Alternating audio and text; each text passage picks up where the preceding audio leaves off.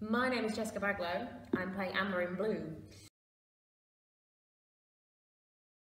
Um, it was decided for me. I, was, I didn't decide um, myself.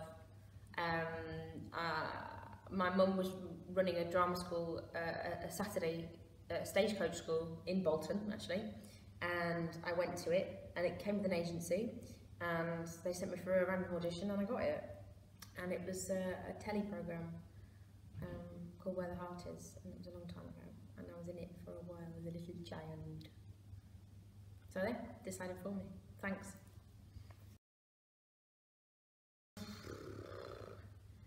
Repetition, doing it again and again, finding logical steps between thoughts, um,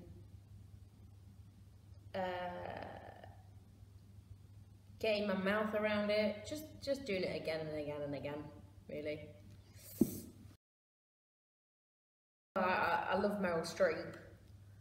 You know, she's probably everyone's acting inspiration because she's amazing.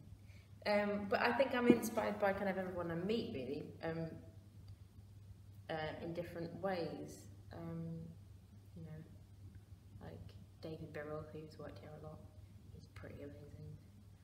Um, watching other people work, I find really inspiring day to day, if that makes sense.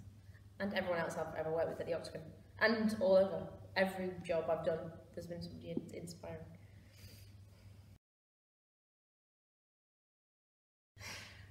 uh, the worst thing that's ever happened to me on stage, I was at drama school and we decided to play this game called the teabag game.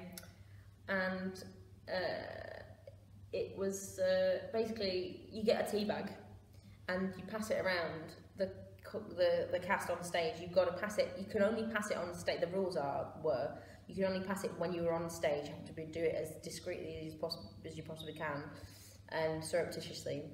And uh, if you're off stage, you can't pass it around. And you and if, if it's if it's given to you, you have to accept it.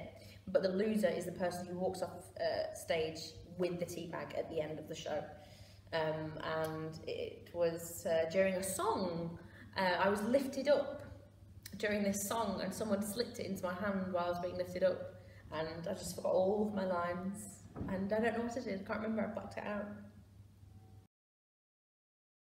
Read a lot, go see a lot of plays, watch a lot of movies, find what you like, um, inform yourself, uh, read everything you possibly can um, and, and and have a go at making your own work as well because it seems to be the way forward nowadays. Um, educate yourself in whatever sense that is, uh, whether it's going to drama school or or like or, as I said, reading stuff or watching stuff and learning through other people. Steak, probably.